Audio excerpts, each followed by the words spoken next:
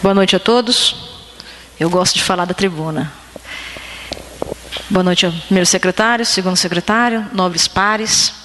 Quero também me reportar aos eleitores e agradecê-los profundamente por ter escutado o nosso apelo de votar em candidatos da nossa região. Se nós olharmos candidato federal, candidato estadual, os mais votados são da nossa região. Nós temos aí Mauro Bragato, Ed Thomas, Fábio Sato, Reinaldo Augusto, que foram os mais votados, com votação expressiva em Álvares Machado, são da nossa região. Deputado Reinaldo Augusto é de Dracena, 100 quilômetros daqui, com uma hora e 15, para quem anda calmamente, está em Dracena. Né? Já estivemos aí duas, três vezes numa semana para conseguir emendas com esse deputado, que foi o caso da construção do centro comunitário do Nossa Senhora da Penha. Então, um deputado que sempre esteve com as portas abertas para nos atender. Parabenizar o deputado pelo trabalho dele. O deputado, no ano, na eleição passada, teve 79 mil votos, e nessa eleição ele quase dobrou, foi para mais de 122 mil votos, mostrando também que tem competência e que tem desempenhado um trabalho em prol da comunidade. Porque, graças a Deus, nosso povo tem se tornado um povo consciente. Se o político trabalha para o povo, ele permanece, o político sabe recompensá-lo através do voto. Mas se ele não presta um bom serviço, então ele vai perder votos. Nós tivemos aí o aumento da votação do deputado Mauro Bragato, tivemos o aumento da votação do nosso deputado Reinaldo Augusto, e quero agradecer a cada um de vocês. Nosso lema, esse ano na campanha do deputado Reinaldo Augusto e do Evandro Gussi, era quem, quem planta união, colhe desenvolvimento. E se nós estamos pregando a união, se nós queremos que a nossa política seja uma política de união, de desenvolvimento, nós não poderíamos ter uma postura diferente do que essa Casa de Leis, os vereadores dessa Casa de Leis tiveram. Não vi nenhum vereador falando mal do candidato do outro. O Ariel trabalhou para o Bugalho, o Carlos da Pizzaria, Cabreira, Fessel, Nelson do Roque, Silvio Torres, Mendes Tame e para o Mauro Bragato. Tivemos o Zé, dos candidatos do PT, Chiquinho o Marcos Vinha, Pedrinho e eu ficamos com o Reinaldo Augusto, o Evandro Gussi.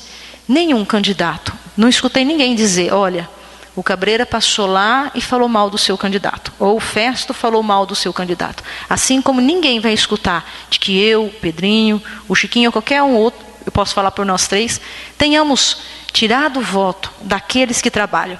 Nós queremos o desenvolvimento da nossa região. Nós queremos criar unidade. E para se criar unidade, nós precisamos respeitar o trabalho do outro e saber reconhecer esse trabalho. Então, nós, a população reconheceu, porque nós também fomos exemplos. Não teve nenhuma discussão, e isso é muito, é, é uma alegria muito grande. Infelizmente, algo que eu vou levar para o resto da minha vida foi que um dia eu participei de uma campanha política que semeou o ódio e semeou a discórdia. Hoje eu quero participar de campanhas políticas que semeiam a união e que semeiam o amor.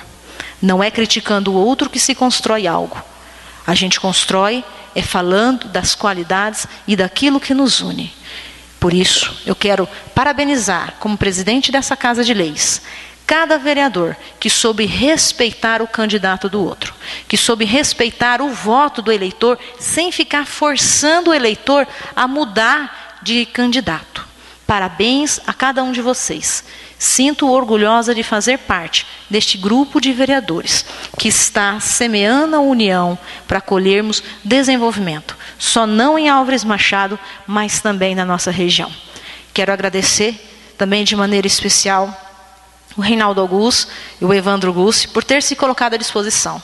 Nós somos vereadores e é extremamente, vou dizer até mesmo humilhante, se colocar à disposição para que o povo te eleja, bater de porta em porta. Muitas vezes a gente escuta o que não não merecemos escutar. E você se colocar na aprovação é realmente dizer um sim a um chamado. Então, quero agradecer ao Evandro e ao Reinaldo que poderia ter dito não a esse chamado, mas aceitaram e colocaram a sua vida à disposição. E Deus os recompensou. O Evandro teve 55 mil votos na eleição passada. Agora ele teve 109 mil votos.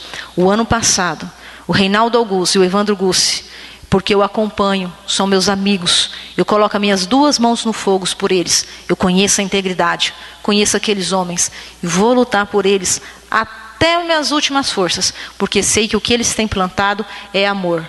Porque se eu tivesse escutado o que eles, eles tinham me dito, eu não teria, algumas eleições passadas, falado coisas que eu falei. Então, eles me ensinaram muito e têm me ensinado. Para mim, são os meus professores. Agradecê-los. Do ano passado, de todos os finais de semana, eles ficaram apenas três com a família deles.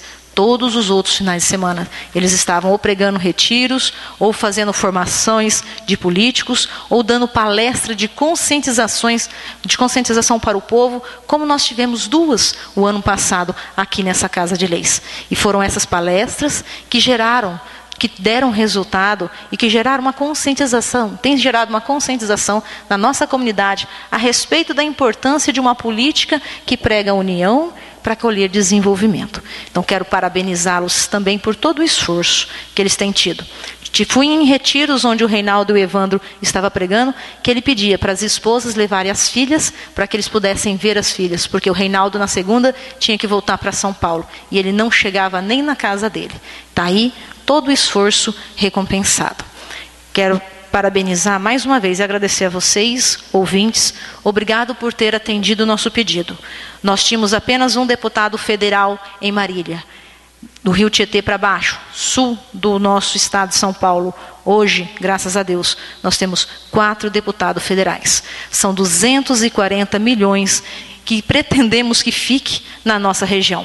Pelo menos 60 milhões de reais do deputado Evandro Gussi vai ficar na nossa região. Nossa região oeste paulista hoje tem o orgulho de dizer: temos um deputado federal que é nosso, que é do povo e que vai lutar pelo desenvolvimento da nossa região. Não é um deputado do PV, é um deputado do povo. É um deputado para todos. Muito obrigada. Que Deus abençoe cada um de vocês e que a gente possa continuar semeando a união para colher desenvolvimento.